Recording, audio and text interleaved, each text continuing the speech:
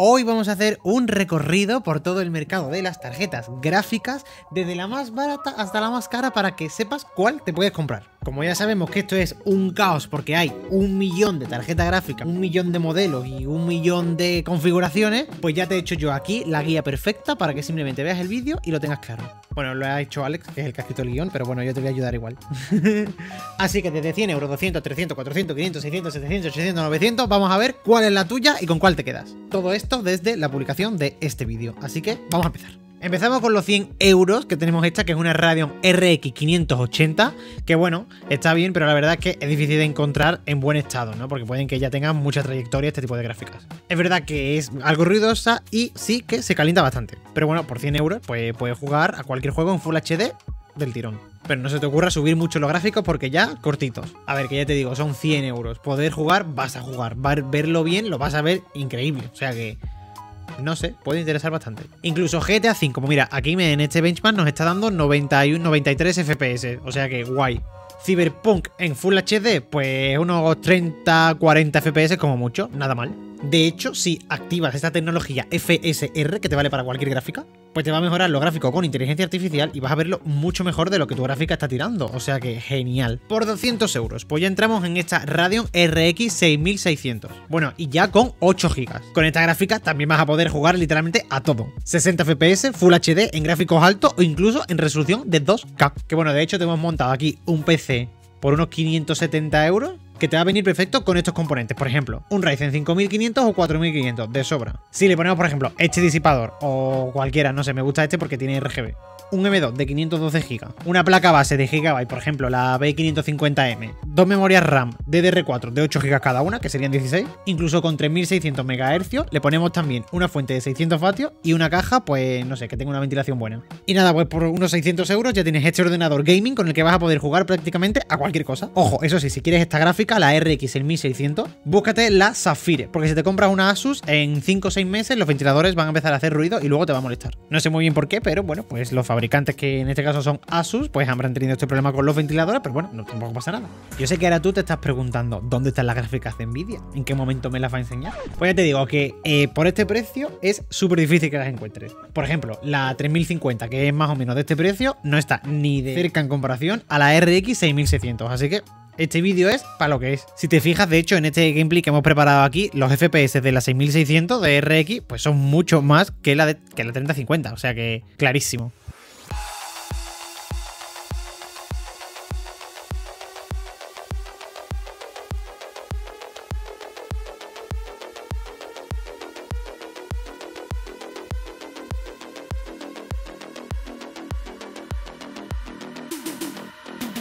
Sí que es verdad que si quieres tener una Nvidia para disfrutar de estas nuevas tecnologías verdes, ¿no? Como se le llaman, pues el Ray Tracing, el DLSS, pues la mejor opción que te puedes comprar es la 2070 versión Super en concreto. ¿Por qué? Pues porque obviamente nuevas son más caras porque tienen mejor rendimiento, pero nuevas ya no existen. Entonces te las puedes comprar de segunda mano al mismo precio que una RX 6600, que al final pues es más buena y te va a costar lo mismo. Así que igualmente yo creo que es una de las mejores que ha sacado Nvidia en relación calidad-precio. Así que es muy buena opción. Sí que es verdad que cuando te vayas a comprar una gráfica de segunda mano, tiene que estar muy al ojo y muy al tanto porque nunca sabemos muy bien de dónde puede venir esta gráfica. Entonces, si la han estado usando ahí pues para minería o no le han dado un uso correcto y la han estropeado un poco, pues yo que sé, a lo mejor mm, lo vas a tener que pagar tú, ¿sabes? A, largo plazo. Pero bueno, si haces una buena investigación y averiguas bien de dónde sale, que está en buen estado, pues para adelante. Por ejemplo, mira, en esta comparativa con la 3060 y con la 6600, estas dos si las puedes encontrar nuevas, valen el mismo precio, pero la 2070 Super pues ya ves que tiene mucho mejor rendimiento y da muchos más FPS máximos. O sea que al final te sale mejor. Que bueno, de hecho ya puedo pararme a hablar de esta en concreto que es la 3060. Pero esa no te la vamos a recomendar en ningún momento. ¿Por qué? Pues porque una 4060 que es más superior te va a salir al mismo precio porque ahora mismo en el mercado cuestan lo mismo. Así que ¿para qué te vas a gastar el dinero en una antigua cuando la nueva te va a costar igual? Y hablando de todas las opciones posibles, en la serie 3000 a partir de la 3070, 70 Ti, 3080, 3090, 3090 Ti, estas ya se quedan bastante obsoletas. Porque a partir de la serie 4000 la tecnología DLSS 3 es una maravilla. Y básicamente de la 4000 para arriba es que no te va a decepcionar ninguna. Aunque sí que es verdad que vale un pastón. La única recomendación que te podemos dar es pillar una gráfica que tenga al menos tres ventiladores y que te hagas con una fuente también buena para poder alimentarlo correctamente. Mira, aquí de claro lo estáis viendo en esta comparativa del God of War que la 3060 da mucho menos FPS que la 4060 y el precio es exactamente igual, así que ¿por qué te la comprarías? Pues no tiene ningún sentido. También tenemos las gráficas de AMD, pero tampoco te las vamos a recomendar porque en este caso las que rondan sobre este precio son más ruidosas, así que pues teniendo el mismo precio por una gráfica que rinde mejor, se calienta menos y hace menos ruido, pues nos quedamos con esta. Entonces, ¿cuál es la top de la top ahora mismo en este momento, aquel día de hoy que yo estoy grabando este vídeo? Pues ya, si te quieres ir, pues no sé, a montarte un PC de la NASA, vete a la 4070 Ti porque encima tiene 12 GB de memoria, GDDR6X, un ancho de interfaz de memoria de 192 bits, 7680 núcleos CUDA, DLSS 3, que esto también es muy importante, un codec AV1 ya integrado y un consumo medio de 250 vatios. ¿La 4080 es mejor? Probablemente sí, pero el precio ya es desorbitado, así que no te la recomiendo tampoco. Es verdad que si tienes 3.000 o 4.000 euros y te quieres gastar, pues vete a una buena, buena, buena de verdad, porque puedes, pero si quieres ajustarte un poco y centrar un poco más y tampoco desperdiciar el dinero porque no hace falta gastarte 3.000 euros en una gráfica, pues con estas no vas a tener ningún tipo de problema. Y no es solo que tengan mucho más rendimiento por el mismo rango de precio, sino que todas estas actualizaciones de nuevas tecnologías, de LSR, la inteligencia artificial, todos estos aspectos que están actualizados para las últimas generaciones,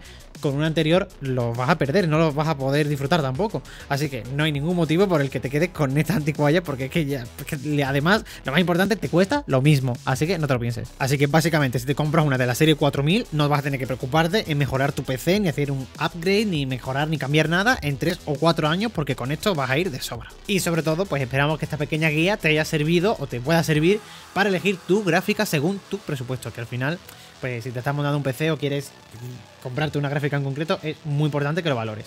Ya sabes que si tienes alguna duda puedes escribirnos, comentarnos, dejarnos un buen like en este vídeo, seguirnos, suscribirte, buscarnos en todas nuestras redes que estamos en TikTok, Instagram, Facebook, YouTube, Snapchat, lo que quieras. bueno, creo que en Snapchat no tenemos todavía, ¿eh? Bueno, Twitter, sí, Twitter, Twitter.